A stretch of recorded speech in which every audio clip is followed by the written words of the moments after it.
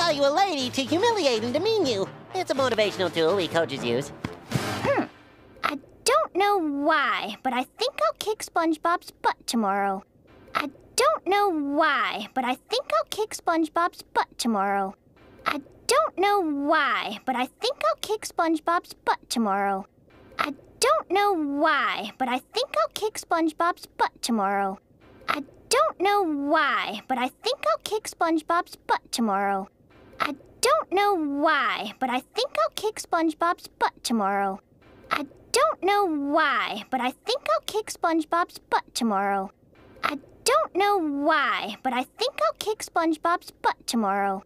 I don't know why, but I think I'll kick SpongeBob's butt tomorrow.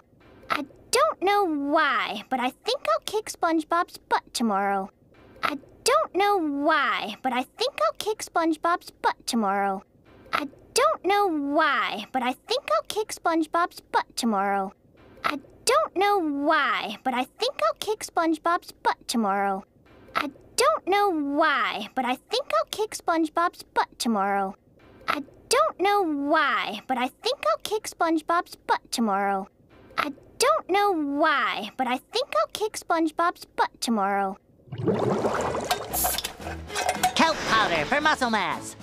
Raw eggs, cause they're cliche. And nail